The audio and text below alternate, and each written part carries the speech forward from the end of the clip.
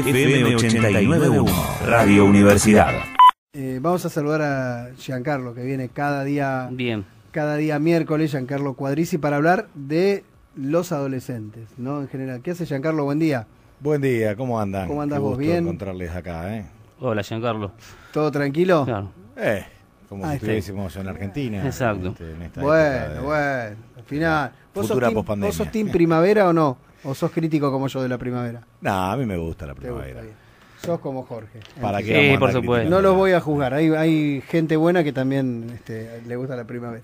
Eh, el, no, me- me- me- el tema de los adolescentes. Los adolescentes y la pregunta que nos hacemos todos, ¿no? ¿Dónde los atamos, no, Giancarlo? ¿Dónde los atamos? Claro, con la primavera. Con la primavera. Mejor, mejor dejarlo suelto. Sí, ¿no? hay que dejarlo suelto. Sí. Bueno, y uno de los temas que habíamos hablado, habíamos dejado picando hace algunos días y hoy lo, lo retomamos, tiene que ver con algo que se vuelve a habilitar y que son, y Jorge se va a acordar y se le va a caer un lagrimón, los viajes de egresados.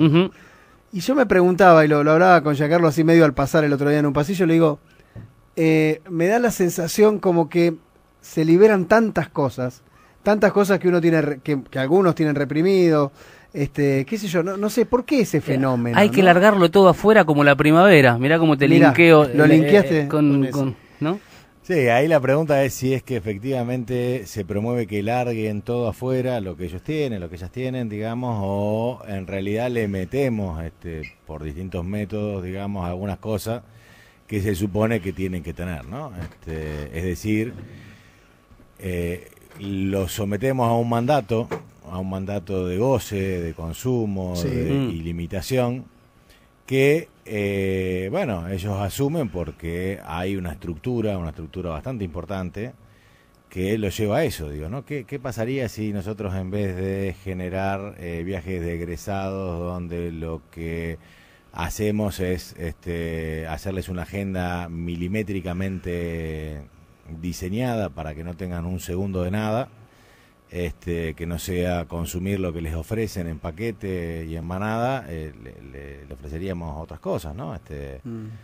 eh, otra agenda, otros lugares. ¿Qué, qué, qué pasa? ¿Cómo es que, que hemos llegado a esta simplificación de, de los viajes de egresado? ¿no? Mm. ¿Qué es lo que se juega en un viaje de egresado? Esa es la, la pregunta que me parece que está de fondo. ¿no? ¿Qué se juega en un viaje de egresado? Para que después pase lo que pasa. ¿No? Y Ah, después, ¿por es qué un nos quejamos de poco- lo que pasa? Es un poco Woodstock, ¿no? También esto de, este, empezó todo como un lugar donde los chicos se iban a divertir y después terminó el sistema cooptándolos y utilizándolo para otras cosas. Un- un Exactamente. Lo, lo que viene a cooptar el sistema, básicamente, es algo que todas las culturas tienen, digamos, que son lo- los ritos de pasaje. Todas las culturas siempre tienen ritos de pasaje de la niñez a la pubertad, de la pubertad a la adolescencia, de la adolescencia a la juventud, ¿no? Sobre todo, que eh, se van secularizando, se van transformando y quedan a veces como muy diluidos, digo, ¿no? O sea, quizás nos cueste pensar que la comunión, en definitiva, para las personas católicas es un rito de pasaje de la niñez a la, a la pubertad, ¿no? O que la confirmación es un rito de pasaje de la este, pubertad la adolescencia. O que los viajes de egresado, efectivamente, son un rito de pasaje de la juventud a- al mundo adulto, ¿no? Ahora, este rito de pasaje tan importante, tan necesario, fue sometido y captado por las leyes del mercado y del consumo. Y me parece que no nos han dejado mucho margen para que en este rito de pasaje se jueguen las cosas que efectivamente hay que, hay que jugar. ¿no? Este, Mm. ¿Cómo hacemos para que las personas jóvenes tengan una experiencia que les permita despedirse de, de la etapa de la adolescencia y pasar a la etapa de la juventud? ¿no? Y de la juventud hacia el mundo adulto. Esa es la, la pregunta. me Sí.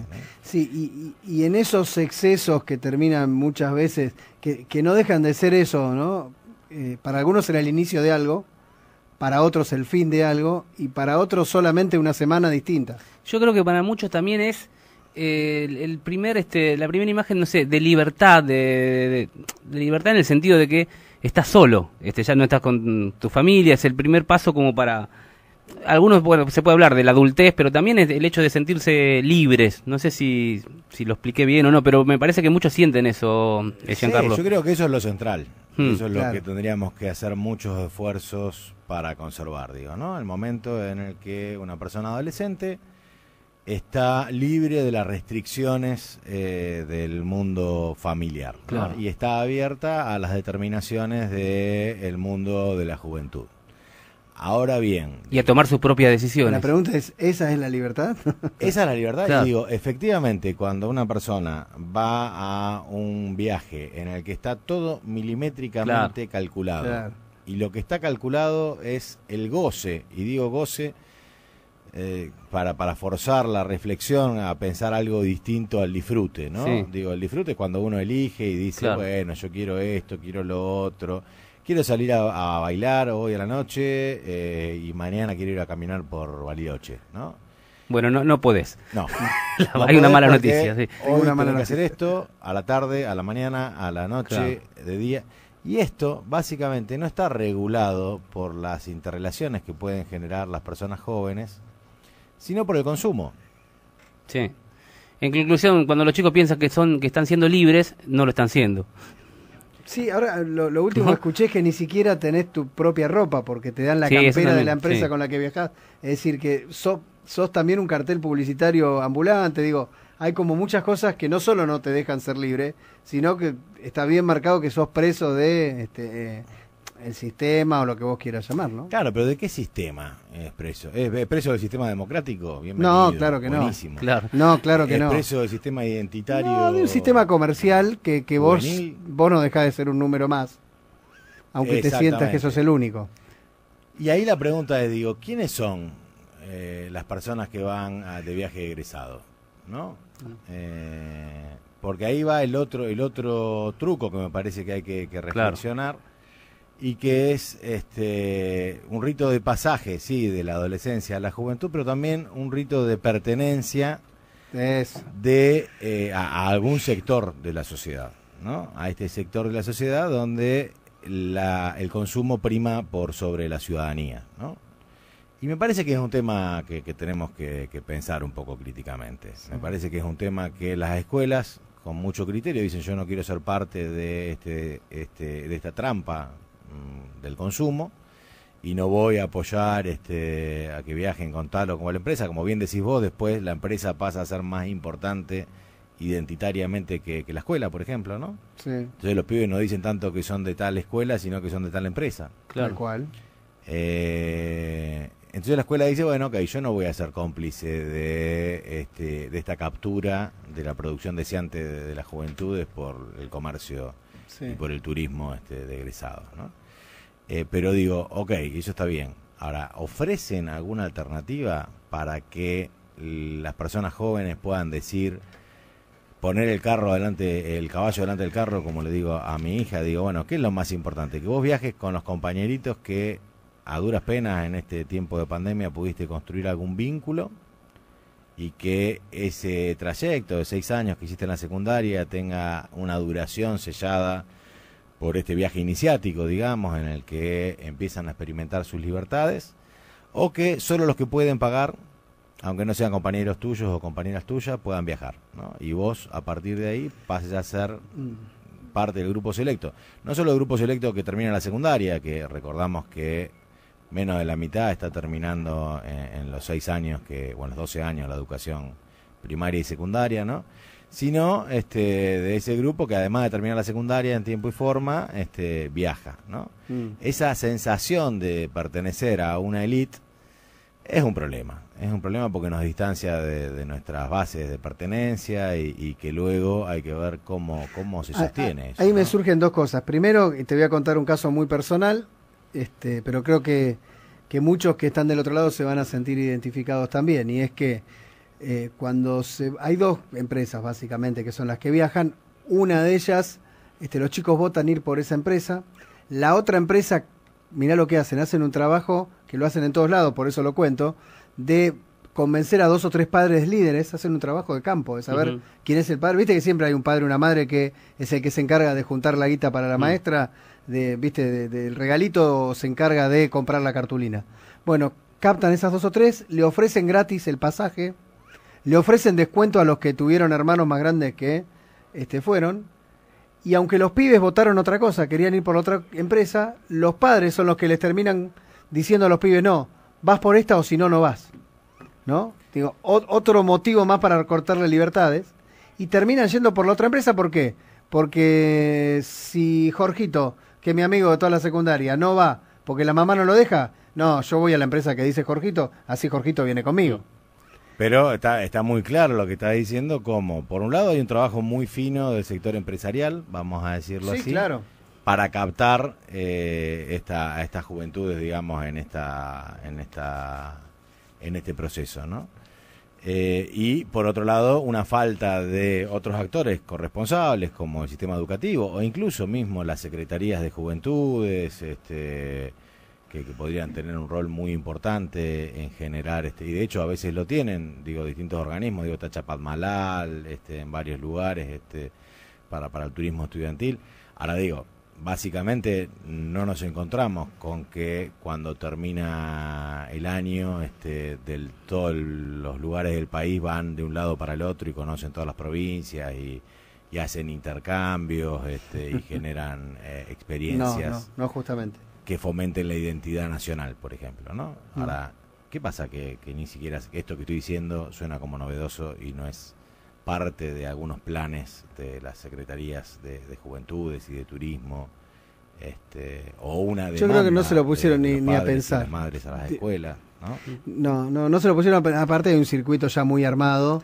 Es que eh, Eh, el viaje de es- egresados termina siendo eh, el caso bien claro de lo que sería el ABC para el marketing, ¿no? El de crear una necesidad donde no la hay. Mm. Capturar, porque, insisto, hay una necesidad que es el rito de pasaje de la eh, Claro, pero, que, a la juventud. pero ¿quién dice que es una necesidad. quién dice que es una necesidad? Eh, los mismos que te lo están este, imponiendo, No, porque Se, se creó esa necesidad. Lo que no es una necesidad que ese rito de pasaje se cumpla yendo a Bariloche. Claro, de claro. Exacto, exacto. Entonces ¿No? el- se creó la necesidad de que los chicos tienen que ir a Bariloche. A Bariloche. Entonces ahí está el mérito del señor Juan Carlos Marketing que este eh, instaló eso y ya todos los chicos que van llegando a esa altura de, de, de su vida, ¿no? Juan eh, Giancarlo, este, están pensando que tienen esa necesidad de irse a Bariloche, sí, es, ¿no? co- es como el turrón de la fiesta. ¿Quién dijo que hay que comer turrón el día de Navidad? Pero bueno, es la costumbre y hay que hacerlo. Entonces, me parece que ahí hay un tema este mucho más profundo y que me parece muestra muchas miserias también, ¿no? Muchas Y creo que, que no está no está muy lejos de nuestro alcance promover al menos estas conversaciones Sí. con Sí, claro. nuestros jóvenes, ¿no? Es decir, ¿en serio es Bariloche? ¿En serio es Bariloche de esta manera? Bueno, yo te dejo una pregunta picando y si querés me la contestás en otro momento o podés no contestarla nunca. ¿Cómo haces para decirle que no? ¿No? Porque ellos sienten que si vos le decís no, no vas, porque me parece todo esto que estuvimos charlando, es muy probable que el que le corte las libertades sos vos y que ellos no se den cuenta que ellos le están cortando un montón de libertad. No, y que además le genere un estupendo campo de batalla para que él me diga que sí. Entonces, a esta pregunta que vos haces que es muy buena y que, que me parece que está bueno reflexionarlo en términos este, psicológicos, si queremos. ¿Cómo haces para decir que no? Y la mejor manera de decir que no es decir que sí. Ah, es decir que sí a otra cosa. Ah, bueno, Este, está bien. ¿no? Es decir, che, y si Bariloche de esta manera, o si en vez de Bariloche Carlos Paz o Tilcara, o Brasil, no sé, digo, Sí, qué sé yo. sí, sí, ya te entendí. Ahora, Eh, ma- más allá del negocio y todo esto que estamos todos de acuerdo, ¿está mal que los chicos vayan a Bariloche? Me lo pregunto teniendo en cuenta, yo habi- habiendo pasado por esa experiencia Claro, también. Este, porque también ta- está la tampoco otra, lo sí. veo mal. O sea, hay, hay, hay partidos que asumo que perdí también. No sé si, si vale para el caso. Está buenísimo que vayan a Bariloche. Sí. Está buenísimo que vayan a Bariloche o está buenísimo que puedan elegir. Claro, ir a claro, Bariloche. claro, Ahora, cuando claro. yo mis opciones son Bariloche con A o Bariloche con B Sí. y, y que A y B son exactamente iguales, no sé si estoy eligiendo. Mm. Claro. O sea, está bueno que un joven pueda elegir libremente cuando tiene 18 años beber alcohol y bueno, es parte de su libertad. Ahora, ¿estamos generando las condiciones para que elija beber alcohol o está todo armado para que si no bebe alcohol Claro. este, Claro, tal cual. No sepa qué hacer? Giancarlo, siempre es un placer hablar con vos. Un abrazo grande. Hasta la semana gracias que viene. Por, por el espacio para, para pensar en conjunto. Eh, no, me encantó. buenísimo. Nos quedamos pensando siempre. Eh, los- es que los adolescentes son un problema. Eh, Como lo fuimos nosotros cuando fuimos pero adolescentes, Claro, ¿no? que vos no eras un problema. Ah, no. Giancarlo Cuadrisi, nuestro este, psicólogo de cabecera. Desde la Universidad Nacional de La Matanza, Radio Universidad FM 891. Siempre cerca.